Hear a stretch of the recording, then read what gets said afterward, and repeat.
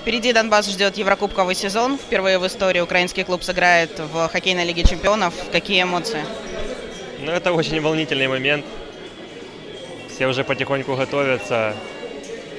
И я надеюсь, э, что мы выступим как можно лучше с первого раза. Мы как бы андердоги, от нас никто ничего не ждет в Европе. Но мы знаем, что мы можем выходить с этой группы.